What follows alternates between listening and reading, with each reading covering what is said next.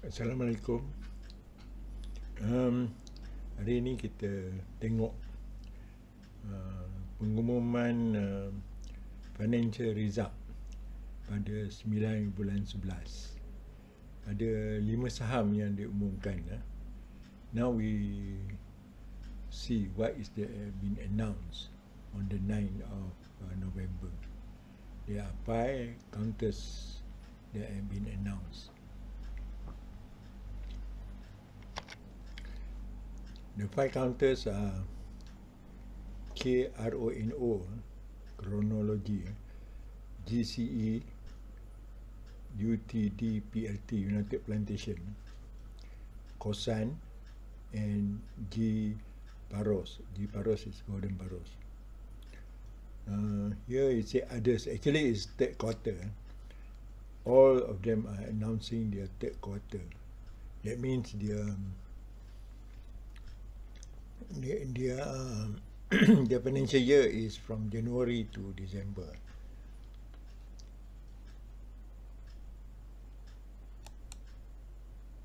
Okay, kita, we look at the first one uh, that is announced um, after 12.30 just now. This the the early early announcement uh, at uh, 12.30 chrono uh, chronology uh, chronologies announce the result.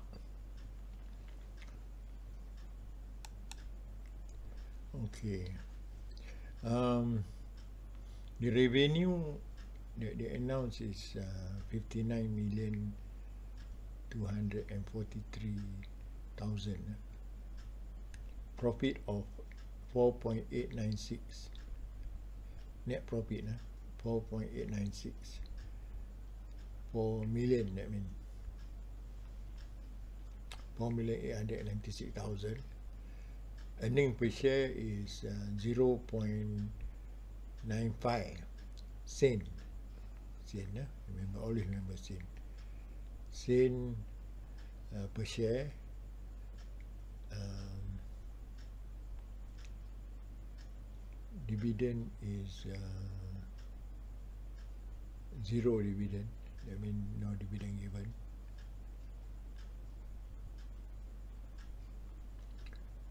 And then they say that quarter on quarter they have improved 295 thousand. Sorry, two hundred and ninety-five percent. But year on year is the decrease twenty-eight percent. Maybe we we we look at this quickly. Ya. Hari ni pukul 12.30 tadi ya. Krono Krono buat pengumuman keputusan dia keputusan suku tahun ketiga bukan ada tu suku tahun ketiga um, hasil dia 59 juta 243 ribu uh, net profit 4.896 juta. Uh, pendapatan setiap saham ialah uh, 0.95 sen dividen tak ada. Dan uh, quarter and quarter makna dibandingkan dengan kuartal sebelumnya kuartal 2 um, mereka mendapat uh, kenaikan 295% uh, year on year 20 turun 28%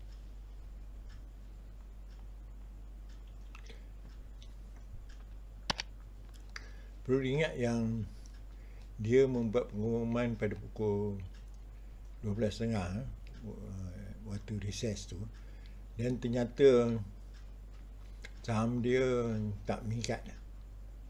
Makna market rasa dia tak ada uh, tak ada improvement lah daripada uh, pendapatan dia yang banyak tu. Ataupun telah dijangka banyak tu.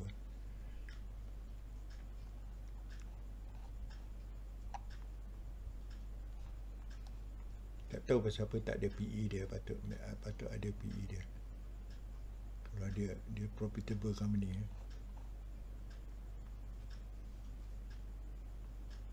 Oh sorry ini uh, financial highlight ya. Dalam kuartal pertama dia rugi 11 juta. Makna kumulatif dia masih rugi lah 11 satu setengah empat setengah. Makna uh, kumulatif dia masih rugi. Pasal tu tak ada PE dia kalau rugi macam ni tak ada PE ya. Ini 11 sen. Ini 3 sen ini ini 8 sen. Betulnya ada lah 8 dengan 3 eh, Sorry. Ini Ini Rugi Rugi 11 ribu. Uh, Rugi 11 11 juta Ini untung 1 juta Untung 4 juta Oh belum Belum sampai ini ini earning per share ya. 8 3 ini tak silap nombor 20 tolak 21 eh.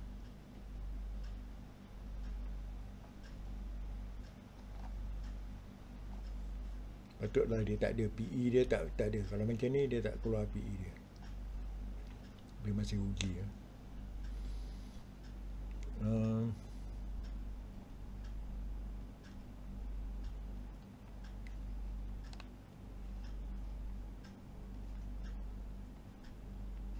kuarter lepas dia untung sikit.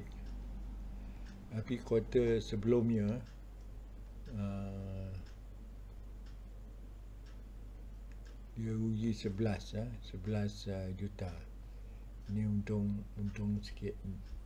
Kuarter sebelumnya untung sikit kuarter ini untung untung banyak. Tak tahu pasal apa dia profit before tax 525 uh, profit after tax 11 juta. Dia kena kena kaji lah kalau nak tahu dengan detail. Tapi tapi ini hakikat yang macam tu lah. Jadi tak tak menarik lah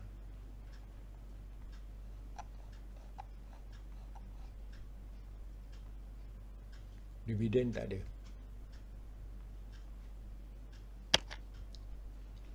Saham yang kedua ialah GCE ya. kuartal 3 juga.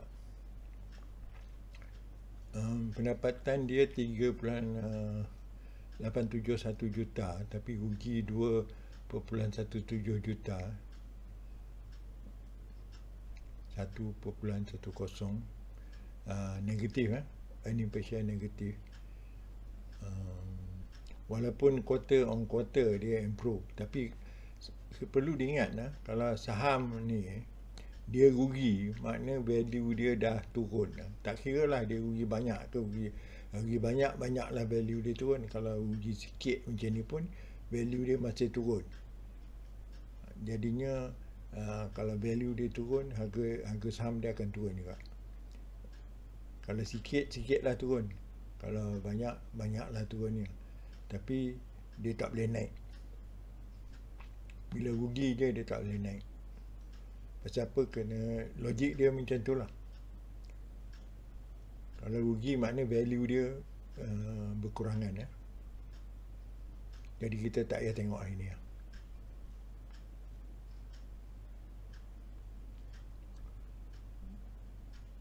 Okey, yang uh, seterusnya ialah UTD PLT United Plantation ya.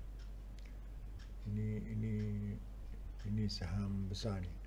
Um, untuk kuartal ketiga juga dia punya pendapatan ya, hasil dia 3 3 3 4 0 3 3 6 334 juta. Keuntungan 95 juta. 3 3 325 ribu. EPS ni earning per share 22.98 23 sen lah. Dividen tak ada. Tapi sebenarnya dia ada bayar dividen 15 sen tak silap. Kita tengok dia tak tahu pasal apa dia tak tulis dividen kat sini quarter on quarter earning dia turun sikit. Tapi uh, year on year year on year mana ditam uh, tiga quarter tiga quarter dia naik 58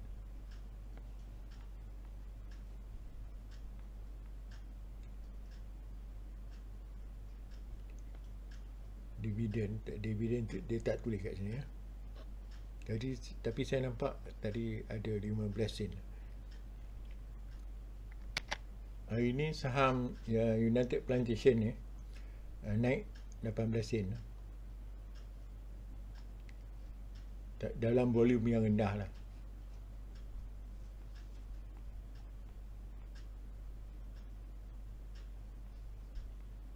Um, tapi uh, dia pengu, dia umumkan keputusan dia selepas market tutup jadi ini pada logiknya yang ini tak beri kesan apa-apa daripada daripada pengumuman tadi ya.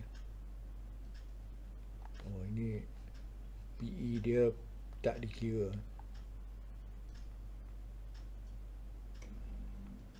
Patut dia boleh kira tu. United Plantation ni uh, tengok kuarter 1 kuarter 1 25.5 sen uh. kuarter 2 42 sen. Kuarter 3 28.5 sen. Tapi uh, ternyata yang yang kuarter 2 ni dia punya peningkatan dia bertambah-tambah eh walaupun revenue dia kurang uh, pendapat uh, profit dia berlebihan. Itu tak normal tu.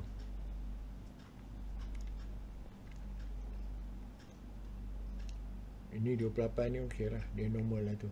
Ini 81 25 8, eh, itu 318 ini 334 ya 334 dan mana ini lebih tinggi revenue daripada ini masa tu profit dia lebih. Tapi yang ini revenue dia lebih kurang tapi profit dia tambah itu makna ada extraordinary apa-apa itu yang menyebabkan profit dia bertambah.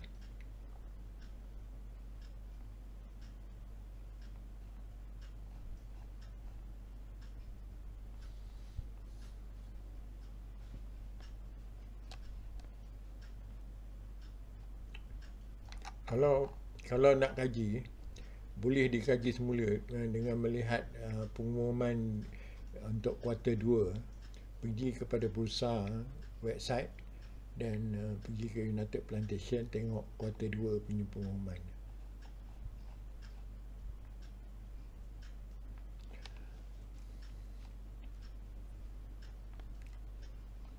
Okey. United Plantation ni bagus lah. Dia uh, saham yang bagus.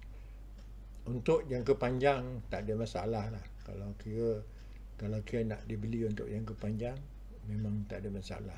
Dia dia well managed company.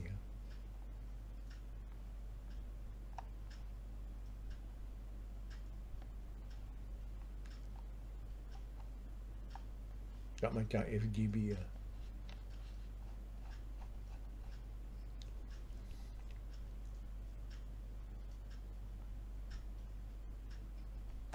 dividen chart dia ada 20 sen sini untuk tahun ni.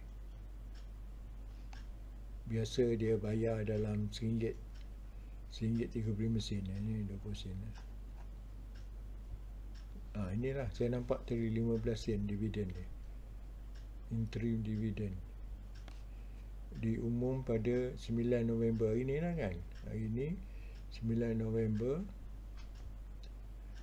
X date ni makna kalau kita mesti uh, pegang saham tu sampai ke X date baru boleh dapat uh, dividen makna uh, mesti pegang sampai 19 hari bulan lah.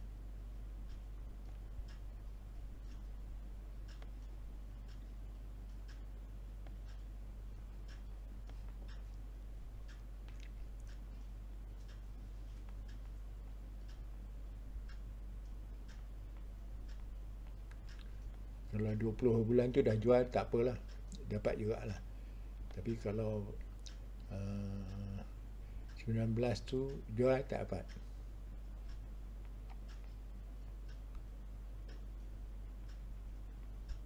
Tak dapat dividen ni. So dividen ni 20% ni ini uh, Oh 20% dia bagi. Bukannya sorry sorry. Bukannya bukannya 15 20 ini 9 November ini pun 9 November. Jadi untuk hari ni saja hari ni saja dia bagi 20% lah. satu uh, special dividend. Satu interim dividend. Um, ada masa dia orang tanya pasal apa ada special dividend ada interim dividend. Ini um, terpulang kepada dia nak charge ke dalam akaun tu dia nak charge ke kuartal yang mana. Selalu kalau interim tu makna dia akan charge ke kuartal yang keempat nanti lah. Special tu ingat dia charge terus.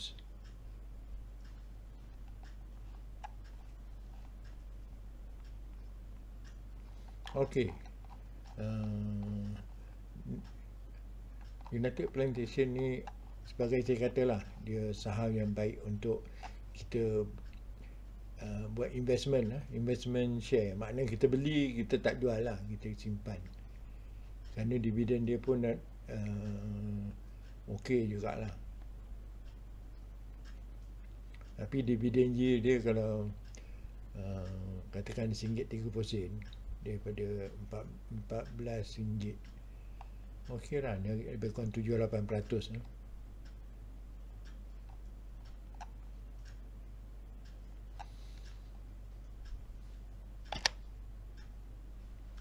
Seterusnya, kosan. Eh. Kita tahu kosan ni adalah satu daripada saham-saham rubber glove. Eh. Untuk tiga. Pendapatan dia satu bilion. Eh. Banyak profit dia 348 348 juta 741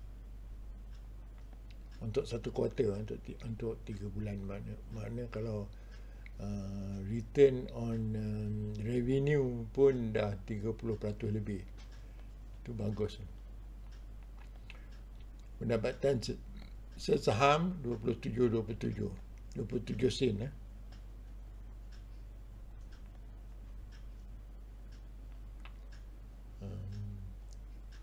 Dia 31 agak tinggi sikit tapi kalau kita tengok dia kenaikan dia nanti ya. hmm, kat sini dia tak tulis dividen dia. Ada dividen dia saya nampak 3 sen apa.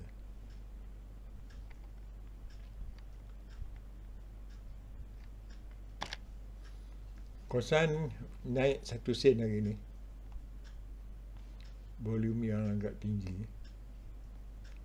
Kalau tengok VWAP dia ada 5 sen 755 uh, ada 6 sen 7551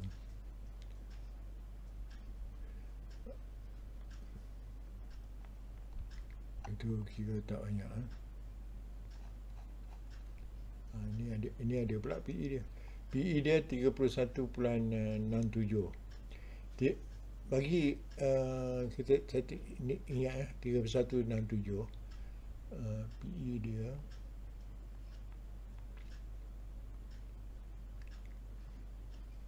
dividen dia dalam, dalam masa setahun eh 6 ringgit. Eh, sorry 6 sen. Bukan 6 ringgit 6 sen. Jadi dividen dia tak kira lah sikit sangat Okey. Uh, apa jadi uh, dulu dia punya apa ni dia punya revenue dia dia punya pendapatan hasil dia agak-agak sama je lah lebih kurang 5 dan kuarter pertama pun tak banyak meningkat tapi kuarter kedua uh, boleh katakan uh, dia meningkat dari dalam apa 15% ya. Dan uh, dengan meningkatnya pendapatan 15% dia dia punya profit dia, keuntungan dia meningkat uh, 100%, eh, hampir 100%. Eh. 65 131 lebih 100%. Dan selepas tu dia punya hasil dia naik daripada 700 ke uh, 1 bilion iaitu uh, kenaik, kenaikan dalam 40% uh. hasil dia naik dalam 40% dan keuntungan dia naik daripada 131 ke 349 iaitu lebih daripada 100% uh.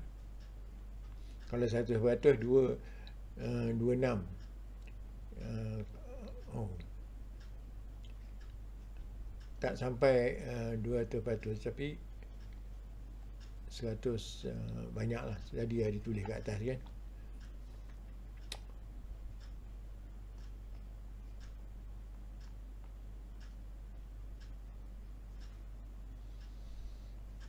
Satu tiga puluh peratus, satu empat puluh peratus, banyak eh? Dan uh, dia boleh naik lagi ke itu terpulang pada kapasiti dia lah kalau dia ni uh, hilang kan hilang tu dia sampai satu ketika dia tak boleh tak boleh walaupun uh, permintaan ada tapi dia tak boleh mengeluarkan lebih daripada yang yang daripada kapasiti dia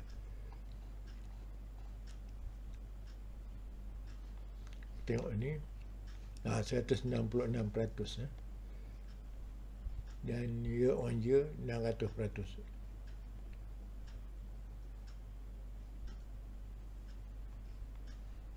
ini keuntungan ya. saya dulu dah recommend semua ni yang yang apa ni yang uh, rubber glove ni. Saya dah buat recommendation lama dah semua. Uh, okey. Profit. Meningkat banyak lah.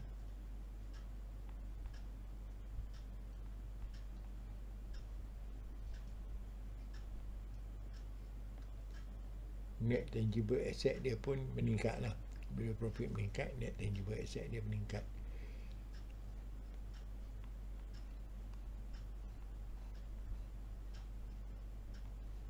ini dividen dia.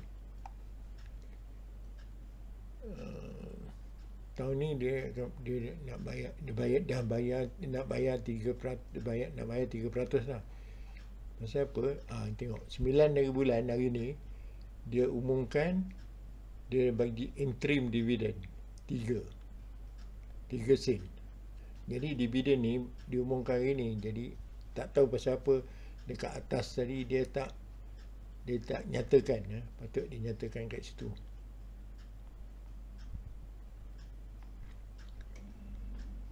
Dua puluh hari bulan November entitlement date dia bayar sembilan hari bulan.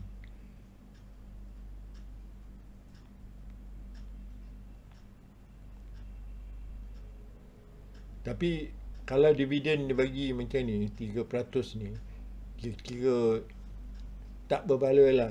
Nak tengok-tengok pun jadi jadi kebanyakan orang dia tak dia tak peduli sangat pasal dividen yang kecil macam ni.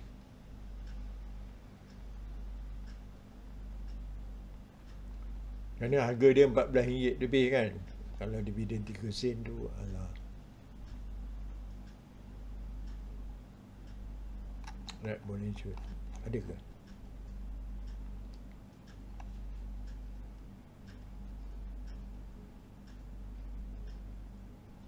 ini ada right bonus hijau tapi dah X dah tak apa.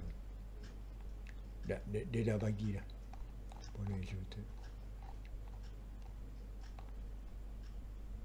dan uh,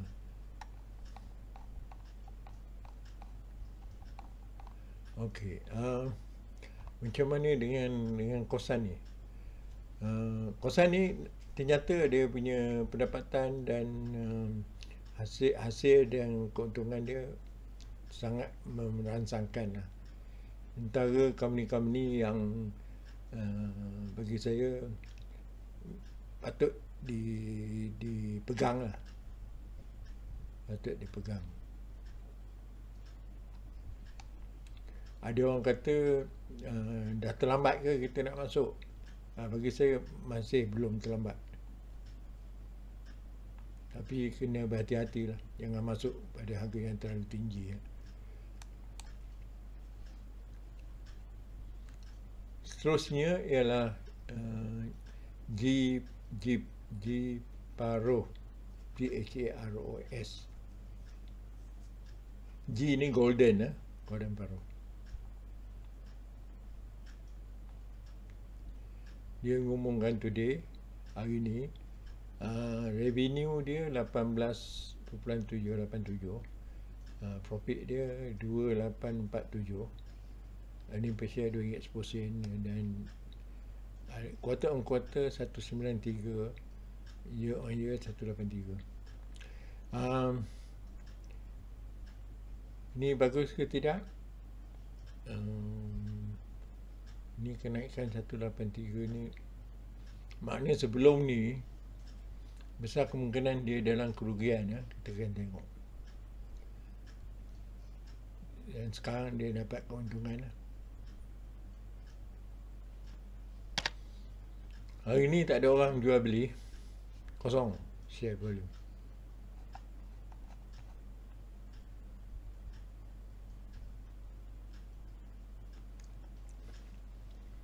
hmm. PE dia tak ada tu makna dia rugi lah. Negatif lah, earning per share. Dalam itu untuk calculated on the basis of profit. Itu aman lah dalam masa 12 bulan ni calculation masih masih rugi jadi PE tak boleh kira.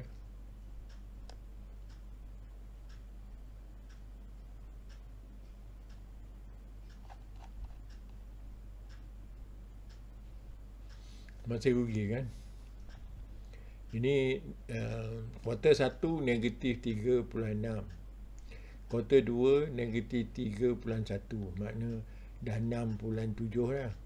Ini baru untung 2.8 uh, 6 negatif 6.7 campur 2.8 makna masih kerugian dalam 4 juta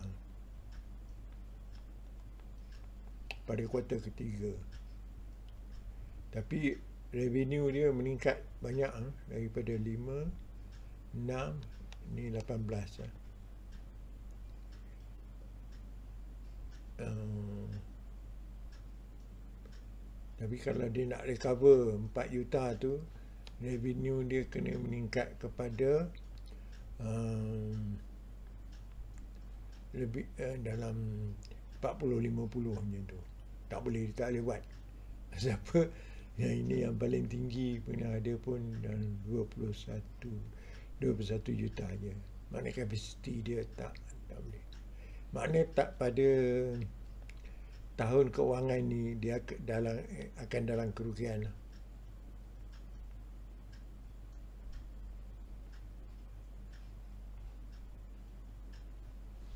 Ya, sebab tu kalau kita tengok quarter on quarter percentage naik ke apa ke kita kena kaji juga adakah dia boleh untung tahun ni ke tidak ke macam dalam kerugian ni mana uh, masih masih tak bagus lagi ya.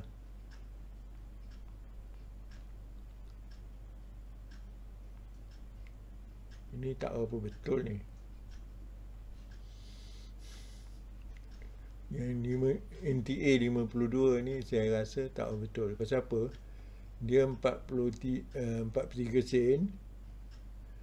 Uh, kita tolak dia uji dia uji dua dua bulan dia tolak tu jadi 41 41 campur 2.1 jadi 40 43 43 je lah atau 43.2 tak jadi macam mana boleh jadi 52 pula ini ini tak apa betul ni. Ataupun yang ini tak apa betul saya tahu. Dia 18 358 2 Okey, G, G, G Farus ni kalau tak silap saya dipunyai oleh kerajaan negeri Terengganu.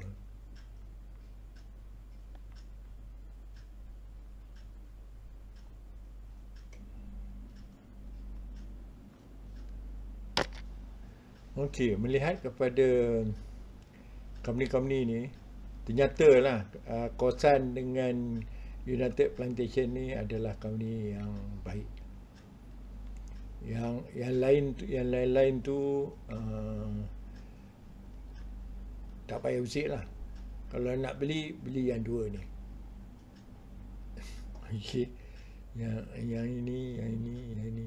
Tak usik. Kecuali dia untuk short term tu lain lah tapi kita kita kena lihat dalam untuk long term eh.